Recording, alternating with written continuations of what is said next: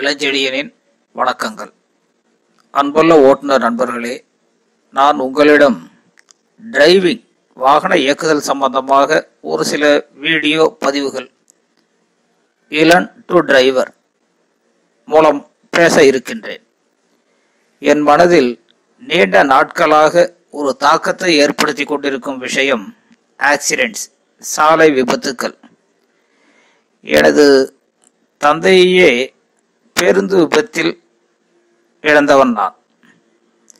இந்த விபத்துக்கள் எதனால் ஏற்படுகின்றன? எது அல்லது யார் காரணம் என்று பார்த்தால் ஓட்டுநரைத்தான் பெரும்பாலும் பொறுப்பாளியாக்க வேண்டிய நிலையே உள்ளது. அதில் உண்மையும் உள்ளது. சுமார் எண்பது சதவீதத்திற்கு மேல் விபத்துக்களுக்கு காரணம் ஓட்டுநர்கள் என்பது ஆய்வுகள் மூலம் தெரிய வருகிறது. ஓட்டுநர்கள் என்பது பேருந்து ஓட்டுநரோ லாரி வேன் கார் ஆட்டோ அல்லது இருசக்கர வாகனம் ஓட்டுவரோ யார் வேண்டுமானாலும் இருக்கலாம்.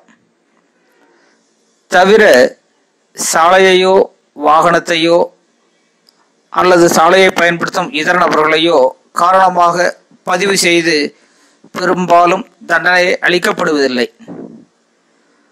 அதனால்தான் அந்த வாகனத்தை இயக்குகின்ற ஓட்டுநருக்கு தனது திறன்களை மேம்படுத்திட உதவிடும் வகையில் பல்வேறு தகவல்களையே உங்களிடம் பகிர்ந்திட விளைகின்றேன் இப்பொழுது இதை பார்த்து கொண்டிருக்கும் கேட்டுக்கொண்டிருக்கு கேட்டுக்கொண்டு எனக்கு முன்னால் இருக்கும் உங்களிடம் ஓட்டுநர்கள் எல்லாம் கையை தூக்குங்க.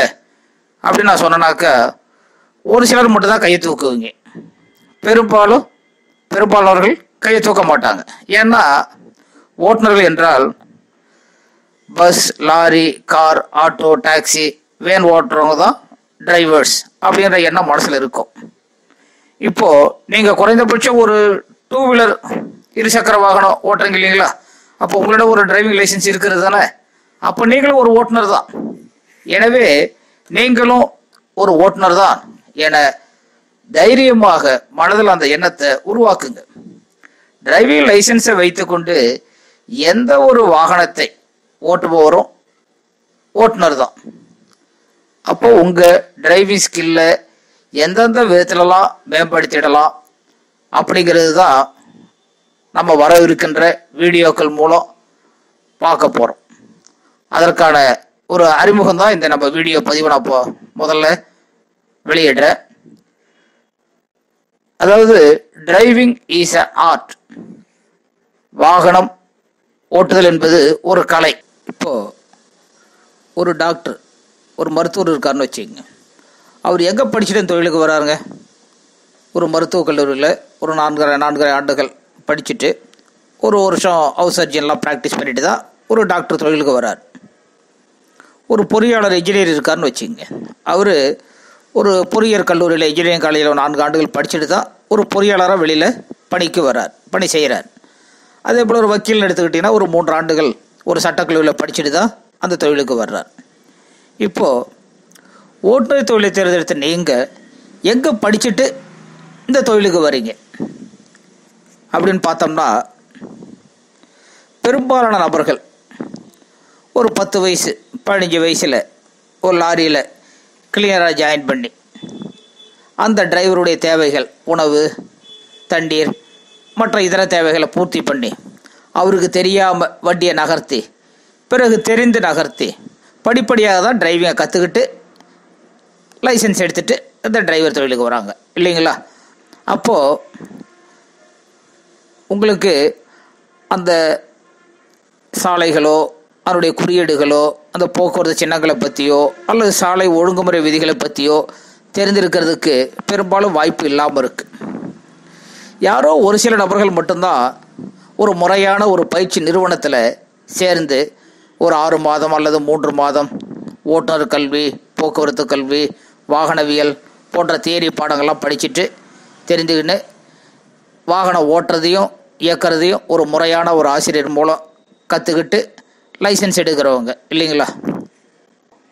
மேலும் உங்களில் பெரும்பாலானவங்க பார்த்து இந்த வீடியோ பார்த்துட்டு இருக்கிறவங்க நிறைய பேர் ஒரு வருஷம் ரெண்டு வருஷம் அஞ்சு வருஷம் பத்து வருஷம் இருபது வருஷம் இல்லை அதுக்கு மேலே கூட ஒரு டிரைவராக தொழில் செஞ்சுட்டு இருக்கிறவங்க இருப்பீங்க இல்லைங்களா?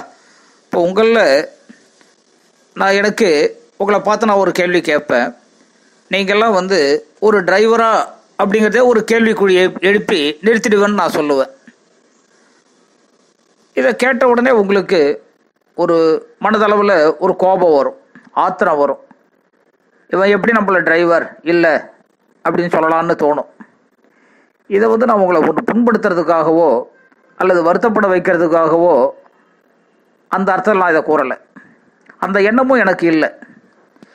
இதை இப்போ இதற்கான விடைகள்லாம் நம்ம வரவிருக்கிற வீடியோக்களில் இதற்கான விடையை வந்து நீங்களே தெரிஞ்சுக்குவீங்க. மீண்டும் சந்திப்போம். நன்றி வணக்கம். வீடியோ பற்றிய உங்களது கருத்துக்களை கமெண்டில் பதிவிடவும். திருப்தி அளித்திடும் பட்சத்தில் சப்ஸ்கிரைப் செய்து பெல் பட்டனை கிளிக் செய்யவும். அப்பொழுதுதான் அடுத்த வீடியோ பதிவு உங்களுக்கு நோட்டிஃபிகேஷன் வரும். நன்றி வணக்கம். உங்கள் இளஞ்செழியன்.